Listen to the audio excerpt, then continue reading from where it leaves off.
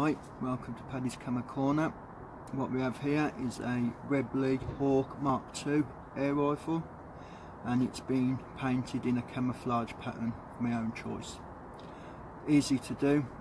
What I've done is took it all apart, degreased it, rubbed it down and primed it with grey primer, left it to dry for a few hours and then I got green spray paint painted the whole thing green, the action and the woodstock. Left that to dry for a few hours.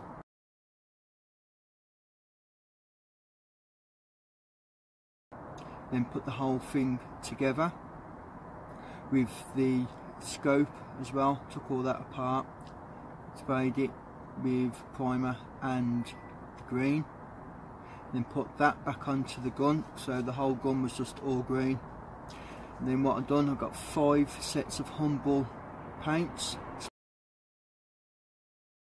More paintbrush and as you can see I've just done wavy lines in different colours green, black, brown and a beige colour done it in different angles and little swirls as you can see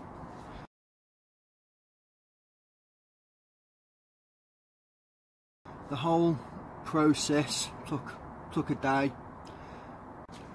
What I've done is I got some clear varnish spray painted all that all over and then just left that to dry. Didn't touch it for a couple of days. That way everything hardens. And now as you can see it's still in relatively good condition. Still a little bit of paint chips that's come off wear and tear.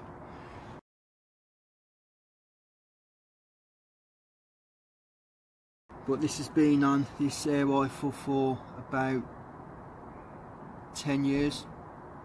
So all in all you know it's all good really cheap to do. The whole thing only cost me 13 pound uh, to paint it, this whereas you get it to say Hydro-Drips it's about a couple of hundred quid.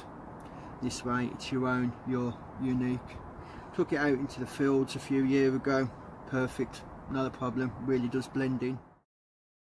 So um, stands out and blends in at the same time. So if you're ever thinking of doing a bit of camoing yourself just go for it.